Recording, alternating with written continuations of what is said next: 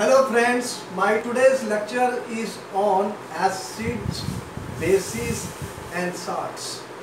Acids, bases, salts. What are acids? What are bases? What are salts?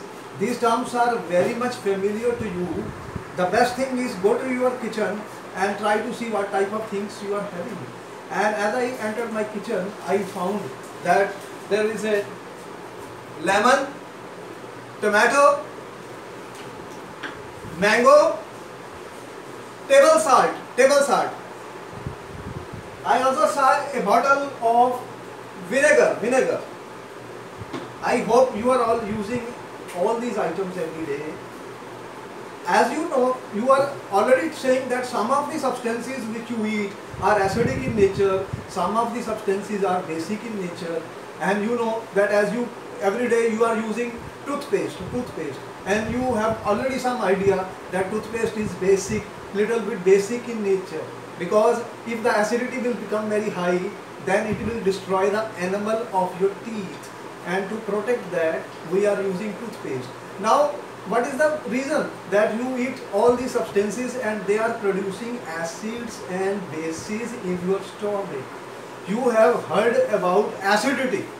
Acidity is a very serious problem which large number of people are facing every day. What is the acidity?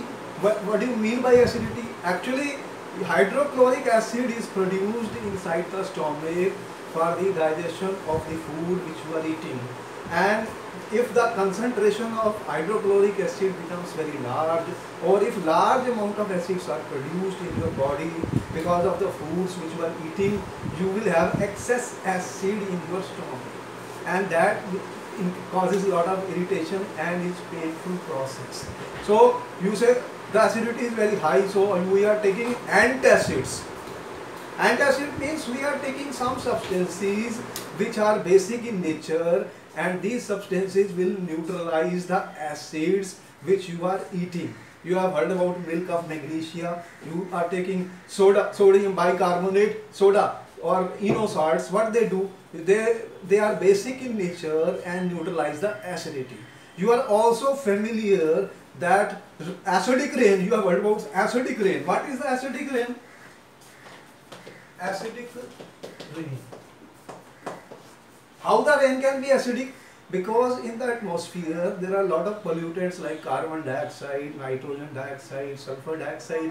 When the rain falls on it, they form acids by reacting with these gases and when these acids will fall on the buildings or crops, they will damage it. You have heard about the corrosion of the Taj Mahal because of the acidity of the rain which is falling. So you can see that how important it is when I talk of acids and bases. So naturally nowadays uh, uh, when you go to the physicians he said you should take alkaline food. What do you mean by alkaline food? What do you mean by bases? You are familiar as I said baking soda. Baking soda. Baking soda which you are using for baking cakes also is a good uh, uh, is a basic in nature. Now you have have heard about sodium hydroxide, sodium hydroxide or I am telling you that this is a soap. If I touch it, this is very soapy to touch, slippery, slippery. This is made up from sodium hydroxide which is a base, which is a base. Then as I am saying that lot of even when you take certain medicines, aspirin, aspirin is made from salicylic acid. So it, it contains acid. And when I talk of vitamin C, you know vitamin C is ascorbic acid. Your milk and curd contain lactic acid. Vinegar, which I have shown you, contain acetic acid, which is ethanoic acid. So there are large number of acids and large number of bases we are using every day. Dish cleaner, dish cleaner which we are using is sodium carbonate. So they are basic in nature. Sodium hydroxide is also being used for washing and cleaning purposes. That means the term acid and bases is not new to us and that salt which I am talking is a table salt. Table salt you are using every day in home and large number of you are familiar with this that this is sodium chloride NaCl salt. This is the table salt which you are using in your home and you know it gives sodium ions inside the body which are required for regulation of your BP. So acid basic salts is a term which is not new to us. The acid was derived from something which is sour, sour and bases are we say they are bitter in taste, substances which are bitter in taste and the salts are neutral as you can see it is made from acid and base. When acid and base react they are forming salts. Now we have three types of things which matter can be classified into acids, bases and salts. Therefore our question is to define in the field from, from, from chemistry what do you mean by acid? How will we identify acids? What do you mean by base? How will we identify base? What are the properties of acids, bases and salts? And this is important because then we will get more idea about these substances which we are using. Here I am giving a list of some of the acids. HCl, HNO3, H2SO4, H2SO4, CH3COH. Some of the acids which you experience in chemistry lab, hydrochloric acid. You will go in the chemistry lab and you will see bottles of hydrochloric acid, nitric acid, sulfuric acid, acetic acid or ethanoic acid. These are very common acids which we experience. And if you want to see bases, sodium hydroxide, ammonium hydroxide, potassium hydroxide, calcium hydroxide. These are some of the examples of the bases. Sodium hydroxide is a strong base. Ammonium hydroxide is a weak base. Potassium hydroxide, this is uh, calcium hydroxide which is used as a lime water in the chemistry lab. Therefore, you can see that these are the acids, these are the bases. We want to know from chemistry what are acids, what are bases. You can see one thing when I write acids, H, this H is present. H is present, H is present, here H is present.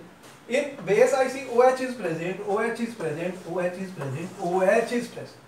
Does that give us some idea that what will be acids and bases and what definition we can create from acids and bases? In fact, Arrhenius gave a very simple definition of an acid and bases based on these H, H, H and OH ions which are present in acids and bases. So I will talk of what is Arrhenius theory of acids and bases. The simplest theory which was given by Arrhenius is very simple. He said the substances which on dissolving in water produce H ions. H ions they are called as acids. That means acid is any substance which produces H plus ions in water. If I take hydrochloric acid, put in water, it will produce H ions. If I produce nitric acid in water, it will produce H ions. If I produce, uh, take H2SO4 and put in water, it produces H2 H ions. So those substances which produce H ions in water are called acids. And bases are substances which produce OH ions in water. In water. That means if I put sodium hydroxide in water, it will produce hydroxide ion. If I produce put ammonium hydroxide in water, it will produce hydroxide ion. So the substances which produce OH minus ions are bases and the substances which produce H ions are acids in nature. Therefore, I can say that here I take water and I add HCl. What will happen? HCl plus H2O it gives H3O plus Cl minus. Now you can see that what happened is that HCl in water produced two ions. One is H plus and second is Cl minus. In water, H ions does not exist. It reacts with water to form H3O plus ions. So either, but H plus cannot exist itself, therefore it reacts with water to produce hydronium ion in water. Therefore, HCl when I add in water, what it does, it produce H ions, H ions. So, any substance which produce H ions in water is an acid. There, and what will happen if I take base? If I take water and add NaOH, it will give, if I put NaOH in water, NaOH in water, I will get sodium ions plus hydroxide ions. Therefore, substances which produce OH minus in water will be called bases and the substances which will produce H ions in water will be called acids. Since we are using aqueous solution, aqueous means water. In chemistry we use these terms S for solid, L for liquid, G for gas and aqueous is used when we have solutions in water. Therefore I will use AQ. AQ means aqueous in water. Therefore, therefore I can say that HCl, supposing HCl gas was put in water, water was a liquid, what happened? H3O plus aqueous and Cl minus aqueous. So dry HCl is not having H plus but as soon as I put in water it produces hydronium ion therefore it behaves like an acid. But if I put HCl aqueous solution then, also, then it is already acidic because it will produce H ions in water solution. Hence, we can define, give a definition to the acid substances which produce H ions in water are acid substances which produce OH ions in water are bases. But there are two types of acids, strong acids and weak acids. What do you mean by strong acids and weak acids? Strong acids. As I told you, the more if, if hydrogen ions are produced in water, the substance is acid. But how much hydrogen ions an acid produces? If the acid produces, if the acid produces more hydrogen ions, then it is a stronger acid. If the acid produces less hydrogen ion, then it will be a weaker acid. Then how much? It will depend on the degree of ionization of the acid. So we have strong acids are completely ionized or I am saying 100% ionized. HCl is a strong acid. HNO3 is a strong acid. HI is a strong acid. H2SO4 is a strong acid. They are 100% ionized in water. Therefore, they will produce large concentration of the hydrogen ion in water. Whereas acetic acid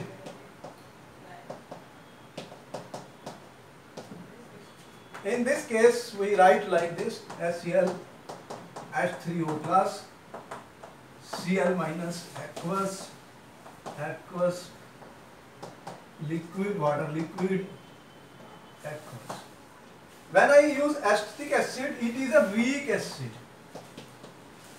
and only about 5% ionized the ionization of acetic acid is very small and therefore the concentration of hydrogen ions it will produce will also be very very small. So what we are saying here uh, that this acetic acid when if we put then it gives very small concentration of this. So this value is small because here I am showing reverse reaction also because as soon as it dissociates the reaction goes back. The reaction goes back. So you will find that this ionization is not complete. This is incomplete ionization or I will give a better example of this later on because uh, uh, acetic acid is a very weak acid and you can see that the concentration of these ions will be very small the hydronium ion concentration will be very small in acetic acid as compared to these strong acids it is only about 5% ionized as compared to this. Similarly, we can talk of strong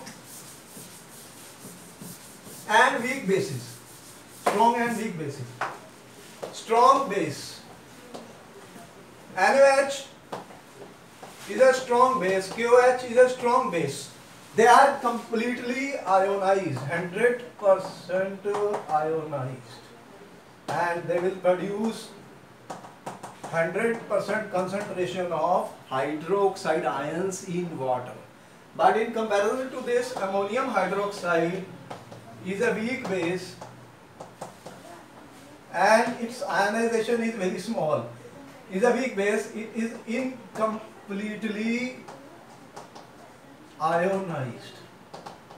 The ionization is very small, therefore the concentration of hydroxide ion will be very small in the case of the ammonium hydroxide as compared to these. Therefore, we also know what are strong acids and what are strong bases. Now we have got a definition of acids and bases. How can we identify the acids and bases? Identification of identification of acids and bases. I give you two substances and I tell you that find out whether it is an acid or a base. How will you know this is an acid or this is a base? I will use indicator. Indicators are used. What is an indicator? An indicator is a substance which I can uh, uh, mix with the given substance. The color of the substance changes. And from the change in color, I can find out whether it is an acid or a base. So there are many types of indicators which have been used. The simplest and you are already familiar with this uh, is a litmus solution. Litmus solution. Litmus solution is a dye which is obtained from a plant which is obtained from a plant which is called LIC, lichen. This is a purple in color, purple in color. This dye is purple in color. This dye changes color when we reacted with acids or bases. In fact, there are two types of litmus solution. One is called blue litmus and second is called red litmus solution. I can also make papers of the blue and red litmus by dipping a special type of paper and I can use blue litmus paper and red litmus paper. You will find that acids turn acids turn blue litmus red.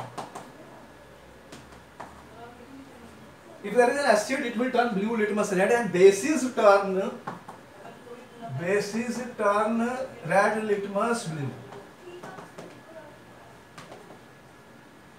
So this is a very easy method that you can take litmus solution and test whether it is an acid or a base.